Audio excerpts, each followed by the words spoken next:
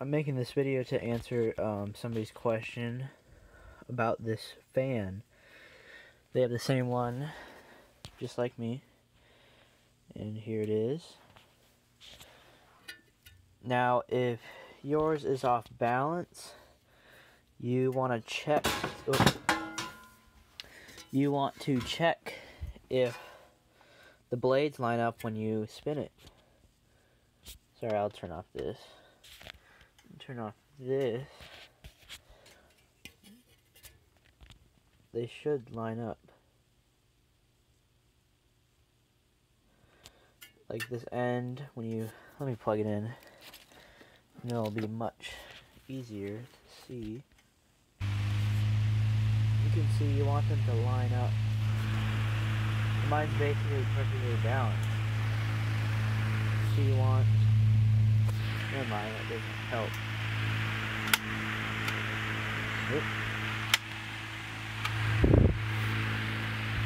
So you want them to line up at the edge, and that's, that's how you want it. And if it's vibrating, then you just put your finger here and um, then bend the blade back a little bit. Be careful when you do it, don't bend it back too much, because you can mess it up. And yeah for how I balance it, I usually just watch to see if those um, rivets are aligned. You make make sure to balance if you do it to make sure these blade brackets are all aligned when you spin it before you bend the blade. And if it if it doesn't uh, vibrate, then you don't have to do anything. Don't even touch it. And the cage should be good. So with yours, I'll turn it to the back. So here, I've replaced the head wire. I didn't do any uh, do a video about it, but with yours, you have the gearbox. Here's the oiler. Make sure to oil it every year.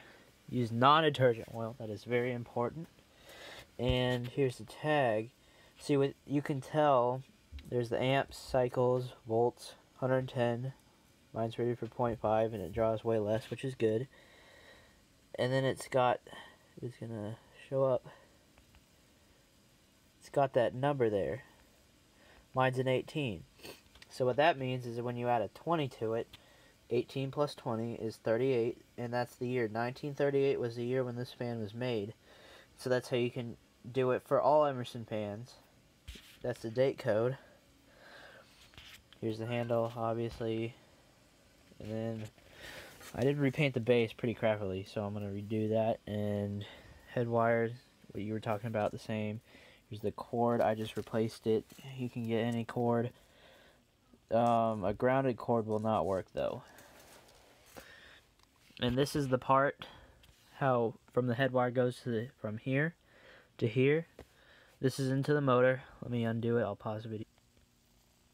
I had to take off the um, oscillator now when you spin it, you want this part to spin also. There's a notch in there, and when you take it apart, you want to line up the notch with this, and if it doesn't go in, take the gearbox off, and it slides in and out.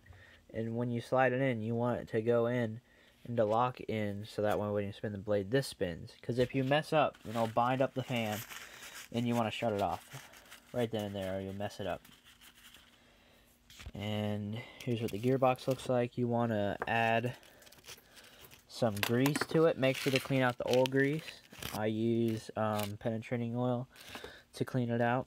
And um, grease that'll work is, let me show you my grease.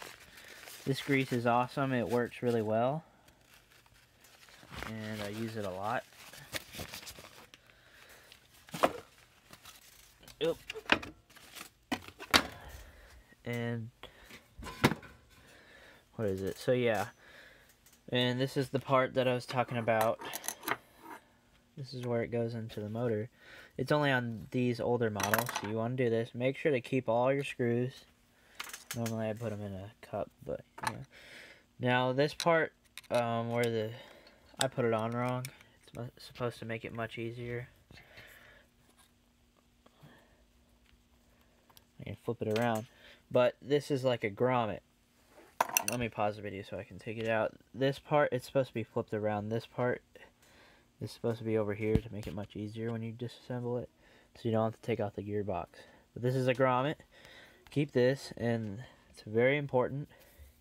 And you want to give yourself a, enough length so when you rotate it this direction that it won't be too tight. See, I have plenty of, of give. That's what you want. So let me pause the video. And this is where you add the oil, non-detergent oil. Very important. Oil every year. And yeah. When you take the blades off, on my video, you want to make sure to get uh, oil, get oil in the rotor.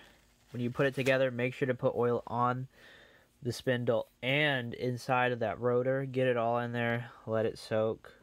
Uh, get it everywhere because if you don't, then you'll wear down the bearing.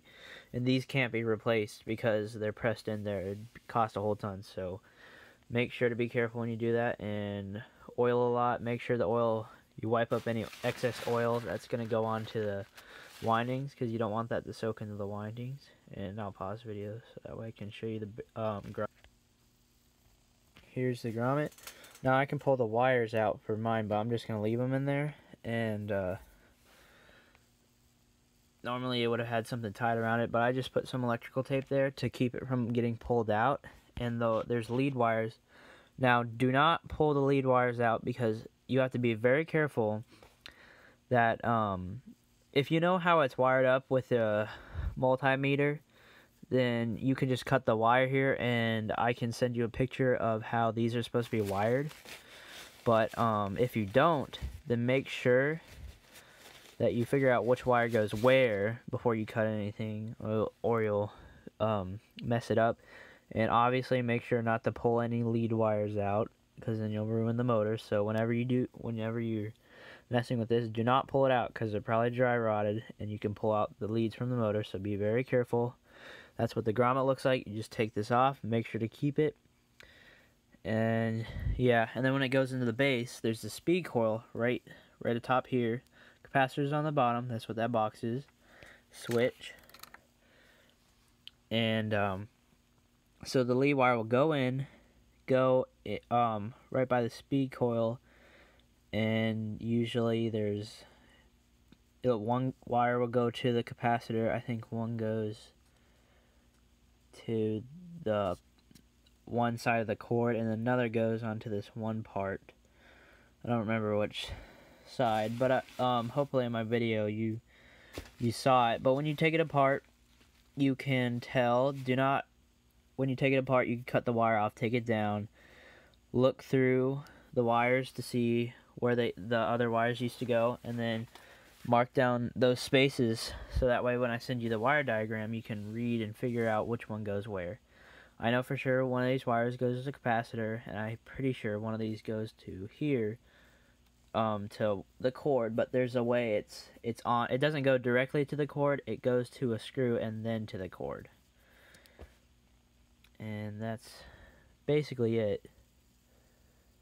And there are wire nuts there. And if this whole stud comes off that's okay. You just undo the stud. And before you pull the cage off undo these. And be careful not to bend anything especially not the blade because these are really hard to balance. And if you don't balance them then it can wear down and just ruin the fan. That's why yeah. Let me I don't know. Yeah, I have a flashlight here. So I can show you where you stick a screwdriver, Allen wrench, like this, Allen wrench, into there. I'm trying to look with my actual eye. There it is. You can see that there's a hole in the rotor. And make sure not to hit the windings. The windings are right there. They're wrapped, and you can see them. Do not hit those and um, yours should have a hole and just stick it into that hole and it locks the rotor and you turn the blades turn the blades they would no the way they normally run and then you turn them the opposite you turn them the opposite way when you're tightening it. And if it doesn't go on um, if it doesn't go on like correctly at an angle do not force it. Do not force it. Just restart. Because if you force it you mess up those threads you really just mess up the whole fan. So be careful about that. Don't force anything. And when you get to the end, um, like what I said, just take the gearbox off and angle this. It, um, there's like a notch at the in the end. Make sure that this locks on there, so when you turn the blade, this turns also, because that's very important. I messed up the first time, and I was wondering why my fan seized up, and then I forgot about that. So that's really it. Besides how to make it oscillate, you just this twist, you turn it um, this way, and it'll move this hole out so that way wider arc of oscillation like before. Big make sure to oil it. Non detergent oil make sure to oil it. I like to oil, oil my fans every three months but that's just me. Don't over oil it because then it leaks out but with these it's kind of hard. Just put put a decent amount in there the first time but make sure when you take it apart to clean it and to pull oil on that bearing that goes across you'll see it. And there'll also be if you watch my video there was a nut at the end and you take that off and that slides off. Make sure to know where those fiber washers go how they were aligned and or how they went in and that's really just that's basically it hope this was informational and yeah